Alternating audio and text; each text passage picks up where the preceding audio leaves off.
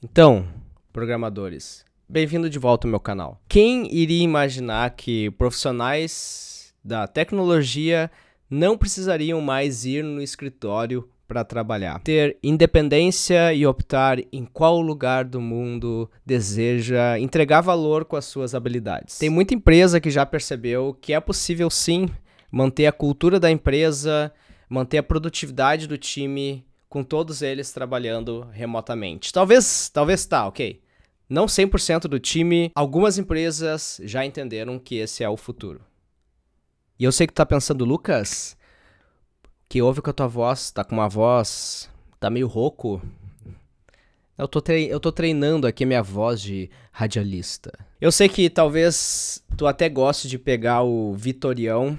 Só, só pra contexto, uh, Vitorião era o nome do ônibus uh, que eu pegava para ir do interior até a capital Porto Alegre para trabalhar no meu emprego como desenvolvedor júnior. E se tu mora no interior do Brasil e trabalha na capital, tu deve ter também um ônibus aí na tua região intermunicipal que tu chega a dar um nome para ele de tanto de tanto carinho tu tem por ele. E talvez tu até goste de pegar esse ônibus durante, sei lá, uma hora de percurso, duas horas, porque te permite estudar, permite tu ler no teu Kindle livros que eu sugiro aqui na descrição do meu vídeo. É o momento que tu tem só para ti. Mas eu venho nesse vídeo trazer uma outra opção, que é trabalhar remoto, que também é uma experiência boa, não só para ti como profissional, mas para as empresas, porque isso vai reduzir diversos custos para ela. E por que não contratar uma pessoa que está no Brasil, que sabe falar inglês, que produz muito e que a diferença cambial vai fazer ela se tornar milionária. No último vídeo eu mostrei a minha carteira de trabalho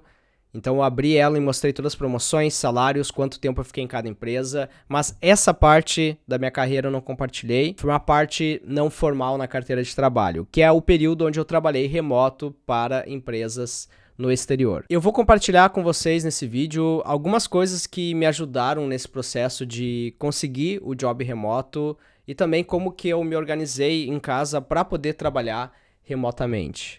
Pequena pausa para passar uma oportunidade para vocês. O Cambly sabe a importância que o inglês pode ter na vida das pessoas e por isso nos dias 26, 27 e 28 de junho irá promover uma série de lives com influenciadores digitais ensinando como você pode alcançar a sua independência. Eles vão mostrar o passo a passo de como que tu consegue alcançar a fluência no inglês. Eles vão compartilhar as histórias inspiradoras de independência deles e mostrar passo a passo de como que tu pode conseguir a tua fluência no inglês. Todo mundo que já possuir uma conta criada no Cambly e para criar conta é gratuito, tu não paga nada, vai receber o invite para esses eventos que vão acontecer. Então, se tu ainda não possui uma conta no Cambly, basta criar usando o meu código que está aqui na descrição do vídeo. E fazendo isso, tu vai receber o convite para as lives e de quebra ganhar uma aula grátis de inglês. É super rápido e gratuito e só precisa do teu e-mail e, claro, criar uma senha segura, de preferência, e aproveitar. Então participa aí das lives da Independência e faça uma aula grátis de inglês utilizando o código LucasIfenLives. Vocês sabem que aqui no canal eu não faço muita publi, mas o Cambly, eu e a Sara a gente conversa e a gente sempre decide de cara que sim vamos falar do Cambly porque nós já fomos usuários do Cambly. Hi, I'm Ollie. Hi Ollie, uh, I'm Lucas Montano from the YouTube channel Lucas Montano. Nesse período que eu vou compartilhar agora a minha experiência de trabalhar remoto, eu utilizei o Cambly como um hack para ligar o inglês, girar a chave antes das entrevistas de emprego. Então, lá na plataforma do Cambly, tu consegue filtrar o, sotaque do tutor, se tu quer um tutor com sotaque britânico, norte-americano, alguém com experiência em alguma área técnica, muitos deles são formados também, não só em línguas, mas formados em ciência, em matemática, em computação, em economia. Então tu pode filtrar por interesses também. E, inclusive tem um filtro bem bacana lá que é Job Interview. If uh, if you're asking me about um, my advice for people taking an interview in English, um, firstly, breathe because you know you can get really nervous and um, sometimes you forget to breathe and that holds in a lot of tension, right? Yes. So, firstly, is breathe. Um, and secondly, take your time, okay? Because the interviewer is not looking for you to speak at 100 miles an hour. Um, so take your time and focus on the pronunciation uh, of what you're trying to say. Um, and there's no problem, you know, with taking your time to think about what you want to say, um, get your words in the right order, and then you know, put everything into pronouncing the words correctly. Então, antes da entrevista, tu pode ir na plataforma filtrar o tutor, marcar e agendar para 15 minutos antes da tua entrevista de emprego, tu entrar na plataforma e conversar com o tutor e aí ligar a chave do inglês e mandar super bem e ser contratado e ficar milionário. Não, o resto vai depender de outros fatores. Eu estava buscando na internet aqui sobre qual que seria o perfil de profissionais que trabalham remoto e eu encontrei um artigo bem bacana. Vamos ver se a gente concorda com essas características aqui. E eu posso começar dizendo que trabalhar remoto pode parecer empolgante num primeiro momento, mas a verdade é que vai vir vários desafios ao longo desse trajeto, tá? Primeiro tu precisa ter um lugar definido para trabalhar, tu precisa criar uma rotina, tu precisa não se tornar agenda de outras pessoas, não se isolar socialmente e também conseguir um tempo só para ti, né? E, e quando tu tiver um tempo só para ti, monitorar o quanto tempo esses intervalos vão levar. Então é uma série de de coisas que a gente vai descobrindo e que eu tive que ir me adaptando para conseguir trabalhar remoto. Deixa eu dar uma lida aqui em quais são essas características então de um profissional para trabalhar remotamente. Autoconhecimento para conhecer e reconhecer seus próprios limites sem assumir mais tarefas do que é capaz de entregar. Eu acho que essa dica é mega importante não só para quem trabalha remoto na área de tecnologia. Assumir os seus próprios limites e não assumir tarefas então que tu não é capaz de entregar. Na verdade, não é assumir a tarefa que tu não é capaz de entregar, mas sim no prazo que tu tá assumindo entregar. Se comprometer com prazos na nossa área é muito difícil. Inclusive, a gente faz uh, planning poker, a gente estima tarefas e todo mundo já sabe que na área de tecnologia estimativa é é um chute, mas mesmo assim a gente continua fazendo porque existe uma necessidade de estimar o prazo de entrega. Então, primeiro entenda que mesmo não trabalhando remoto, é esse trecho aqui vai sempre ser importante na tua carreira. Conhecer, reconhecer seus próprios limites sem assumir mais tarefas do que é capaz de entregar. Autonomia para tomar decisões estratégicas sem a interferência de outro profissional. Eu acho que essa parte ela é importante também, tá? Tu conseguir tomar decisões sozinhos e depois compartilhar essas decisões com o time. Tu vai fazer isso de forma síncrona hoje em dia, remotamente. Então, tu vai usar uma plataforma tipo Slack e depois, até mesmo no Code Review, tu vai compartilhar as tuas decisões. Mas como todo mundo vai estar tá remotamente trabalhando de forma síncrona, tu não pode ficar esperando a interferência de outros para progredir no teu trabalho. Não em tarefas cotidianas, né? Disciplina para dar continuidade às tarefas sem se distrair ou procrastinar. Eu acho que essa parte aqui é uma parte que vem muito assim de autoconhecimento, né? E saber quais são os gatilhos que tu pode utilizar para quando se distrair, tu perceber que tá se distraindo e voltar, os gatilhos de foco. Tu pode começar utilizando alguma técnica de Pomodoro, por exemplo, onde tu faz 15, 5, então 15 minutos de foco, 5 minutos de intervalo. Se tu não consegue entrar num foco profundo em 15 minutos, faz 45, 15, 45 minutos de foco, 15 minutos de intervalo. Tem diversos aplicativos aí que tu pode utilizar com a técnica Pomodoro que vai te ajudar a desenvolver essa característica aqui de um bom profissional para trabalhar remoto. Independência para desempenhar suas funções sem depender de um líder que acompanhe o fluxo de tarefas realizadas.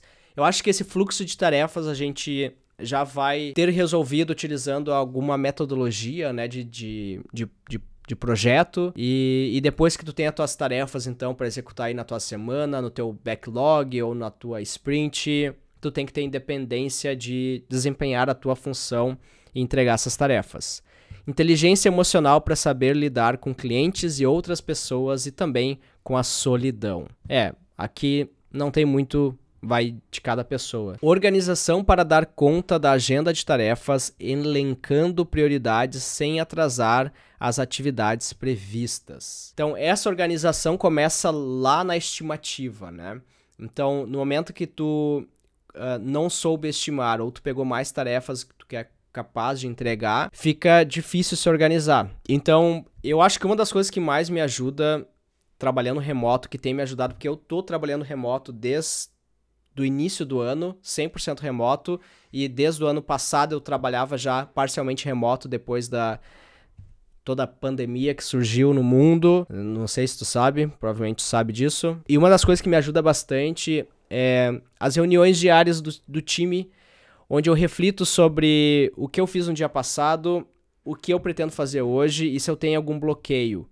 E no momento que eu tenho alguma coisa bloqueada, eu já tiro aquilo como prioridade, eu foco para entregar outra tarefa e nos meus períodos de intervalo eu mantenho follow-up em tudo que eu tenho bloqueado. Então é um mecanismo que eu criei, é um gatilho que eu criei para aliviar minha cabeça daquelas coisas que estão me bloqueando e depois voltar nelas e ver se elas já estão desbloqueadas. Talvez te ajude a achar um momento, uma rotina. No meu caso, a rotina seria uma reunião diária que eu tenho. Uh, pode ser, sei lá, um, um, uma pausa que tu faz pro café, alguma coisa que tu já tem estabelecido como rotina e tenta usar isso como gatilho para se organizar. Não fique disponível a todo momento se você não tem agenda, você acaba virando a agenda dos outros. Isso é o mais verdade de todos. Então, uma dica para esse caso, não ficar disponível a todo momento. É, use o calendário também para coisas pessoais. Reserve um tempo do dia e crie um evento no teu calendário. Isso pode te ajudar caso tu tenha problema em estar virando a agenda de outras pessoas. Porque daí simplesmente tu vai ter que começar a falar não, porque toda vez que tu fala sim para algo, tu tá dizendo não para outra coisa, e muitas das vezes essas outras coisas são a agenda que tu tinha para ti. Então, se tu já definiu um evento no teu calendário, isso pode te ajudar a dizer não. Aí assim, a maioria não vai se enxergar nessas características que eu li, mas entenda que existe existe um hack para tudo na vida. Tu só tem que descobrir qual que é o teu, quais que são os gatilhos. E ferramentas, como eu já falei, tem várias, principalmente de técnica como o Pomodoro. É legal também que uh, esse artigo fala sobre as desvantagens de optar por esse modelo de trabalho, que é a falta de interação social, que pode gerar o sentimento de solidão e introspecção, nem sempre é fácil colocar limites em separar a vida pessoal da profissional, o que pode provocar certo desgaste físico e emocional, pode desgastar as relações profissionais no sentido de complicar o networking, e por mais que o trabalho remoto possa aumentar a produtividade, fica fácil se distrair se não houver um planejamento adequado da rotina e local de trabalho. Então, felizmente, aqui em casa a gente tem um local de trabalho onde eu e a Sara trabalhamos, que é essa mesa aqui, onde a Sara edita os vídeos, a gente produz para o canal e eu também trabalho como programador nesse outro cantinho. E eu sei que nem todo mundo consegue ter uma sala em casa para ser o seu local de trabalho, mas se tu analisar o movimento que a gente está vendo até no mercado, imobiliário, tem muita gente saindo de downtown, né, saindo do centro da cidade, num apartamento que era menor e perto do serviço, para ir morar no interior com mais quartos onde tu consiga ter um local para trabalhar remoto. Então, isso vai depender do contexto de cada um, vai depender das necessidades, mas independente do tamanho da tua casa, da sala, é importante tu ter um canto para ser o teu local de trabalho. E esse foi um erro que eu cometi. Durante muitos anos que eu trabalhei remoto, eu não tinha um local de trabalho. Eu até botei uma mesa e uma cadeira no meu quarto, mas eu gostava de trabalhar com o notebook no colo no sofá. Isso me prejudicava muito. Talvez não te prejudique uh, Talvez tu seja uma pessoa que consiga trabalhar dessa forma, e aí tudo bem, mas cuida da tua postura, porque ficar trabalhando do sofá uh, durante alguns dias, semanas é ok, mas no caso, no, no, no, universo que a gente vive hoje, né, no momento que a gente vive hoje, a gente está falando aqui de se preparar para trabalhar talvez anos remotamente, e se tu quiser seguir uma carreira 100% remota, tu não pode Tu vai ter que trocar o sofá todo ano. Então, o que, que é preciso ter para trabalhar remotamente para o exterior? Tá? Tem cinco coisas que vão ser necessárias e que eu vou falar brevemente aqui. E eu espero que depois tu consiga ir no Google e pesquisar e se aprofundar. Mas que é importante já saber que tu vai ter que pesquisar sobre isso. Então anota aí para buscar na internet sobre abertura de conta PJ, geração de invoice, operação de câmbio, emissão de nota fiscal e pagamento de imposto. Eu espero que esse vídeo seja o início aí da tua trajetória em conseguir o primeiro job trabalhando remoto. E uma das coisas principais que eu queria passar de mensagem nesse vídeo é referente ao meu inglês quando eu consegui meu primeiro job remoto para uma empresa no exterior. E assim, por mais que eu achasse que meu inglês estivesse bom, que eu conseguisse entender o inglês americano, que eu conseguisse me comunicar com as pessoas. É muito difícil no Brasil uh, se preparar para entrar numa reunião ou entrar numa entrevista de emprego com alguém e contar a tua história de carreira em inglês sem nunca ter feito isso antes. Eu tive sim uma, como é que a gente chama? É a síndrome do do vira-lata, né? De achar que o meu inglês não era suficiente e principalmente isso se agravou um pouco quando eu fiz uma entrevista na Top Tal. Eu me lembro até hoje, eu fiz uma entrevista por telefone na Top Tal e eu rodei no inglês. E a Top Tal é uma das opções de conseguir trabalhar para uma empresa do exterior. Tem vários outros serviços aí, mas eu tô listando, tô falando da TopTal porque foi um dos processos que eu rodei por conta do inglês. E depois daquele momento eu fiquei ainda mais inseguro com o meu inglês e para falar a verdade até hoje, Tu nunca fica 100% seguro, mas o que mudou, a chave que instalou em mim foi não esperar por essa segurança, mas sim me preparar. Ao invés de esperar eu me sentir seguro com inglês, porque eu estaria esperando até hoje, eu decidi usar ferramentas e me preparar para as entrevistas. Então eu usava um bloco de notas, eu praticamente simulava uma entrevista, o que, que será que o recrutador ia me perguntar, e respondia em áudio, depois fazia a transcrição desse áudio para o bloco de notas, corrigia a, as coisas que eu tinha errado utilizando o Cambly, passando as minhas respostas para um tutor na ferramenta, e depois, antes de entrar na entrevista, eu também fazia uma aula de 15 minutos com o tutor no Cambly para esquentar o inglês e entrar na na entrevista já com o inglês afiado. Não afiado, mas, né, esquentado. Então, a dica principal é não espere se sentir seguro para aplicar para uma vaga no exterior por conta do inglês. Use ferramentas e se prepare usando um bloco de notas, escrevendo as suas respostas em inglês e decorando basicamente o teu histórico de carreira em inglês, porque a gente não está muito acostumado em compartilhar as nossas histórias profissionais em inglês, certo? Para mim foi isso, é menos improviso em inglês na entrevista e mais preparo. Agora que eu já falei bastante, eu tô rouco, a minha água já acabou. Comenta aqui embaixo, é a tua vez de falar. Como é que tá o teu nível de inglês? Uh, tu pretende aplicar para uma vaga no exterior? E como tem sido esse processo para ti? Que eu tenho certeza que pode ajudar aí Uh, outras pessoas. E não esquece de garantir uma aula grátis de inglês no Cambly utilizando o meu código. Tá aqui na descrição do vídeo. Um forte abraço e eu te vejo no próximo vídeo.